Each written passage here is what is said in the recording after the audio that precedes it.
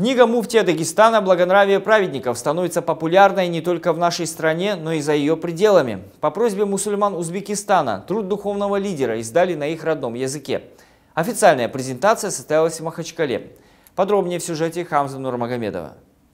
Книгу муфтия Дагестана о благонравии праведников переводит на зарубежный язык вот уже четвертое государство.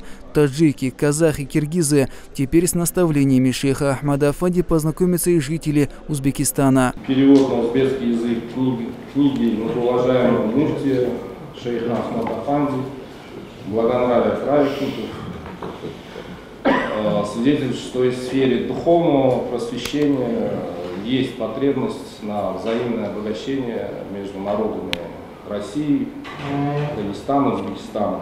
Книгу на узбекский язык перевели с оригинала, то есть с арабского языка. Главный редактор перевода признается, что до прочтения этой книги и знакомства с ее автором имел иное представление о науке тасауф, искренности. У нас было почти такое мнение, не только у нас, у большинства людей, было почти такое мнение, что научного тариката, данный момент современного тариката как будто не существует. Ну, когда я э, познакомился с этой книгой, э, с его э, автором книги, почтенным шайхом, э, когда э, был э, два-три раза в Дагестане, э, мне стало ясно, что тарикат, э, альхамдулиллах, сегодняшнем, нынешнем современном мире оно достойно живет своей жизни в Дагестане.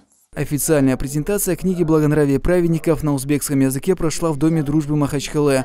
Представители власти, учебных заведений и общественности региона говорили об актуальности и пользе издания. По видеосвязи присоединились и представители Исламской академии Узбекистана. Эта книга нас уже имеется в нашей академии. Конечно, мы надеемся на то, что в дальнейшем еще будет эм, это, увеличен тираж этой книги, и в нашей библиотеке будет, эм, найдет место этой книги.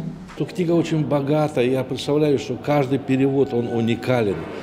И эта книга, конечно, я думаю, что эта книга может быть хорошей настольной книгой для молодых людей, которые еще в жизни не определились, на которых э, оказывается влияние разными сегодняшней жизнью. И очень важно, чтобы у молодого человека на, вот, на своем пути появилась такая книга настольная, появился кто-то, человек праведный, э, наставник – Книга на узбекском языке в настоящий момент издана в количестве более трех тысяч экземпляров.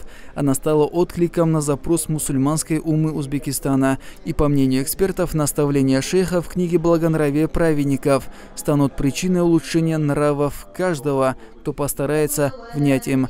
Хамза Нурмагомедов, Магомед Магомедов, Мурат Бибарзов, телеканал ННТ, Махачкала.